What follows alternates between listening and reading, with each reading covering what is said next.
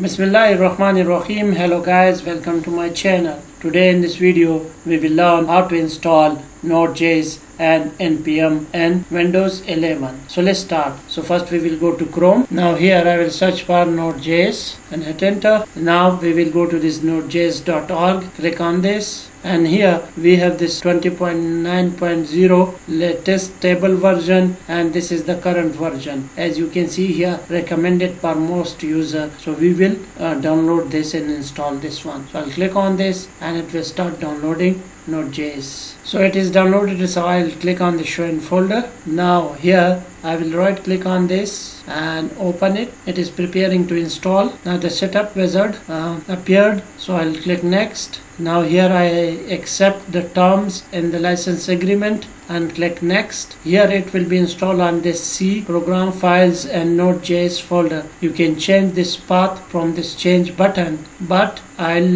leave that default and click next now here I'll click next and do not check this one and click next and install and now it will automatically install it. Now you can see it that it is installing all the components so you can see here node.js has been successfully installed. So with this node.js as well as npm both are installed. So i'll click on this finish. Now we will verify our installation. So i'll close this. I'll close this as well. And now here i'll search cmd at enter. Now cmd is open. So i'll use here node hyphen v and hit enter. And it will show us the version of our node.js you can see here version 20.9.0 now we will also verify npm so here i'll use npm hyphen version rv and hit enter.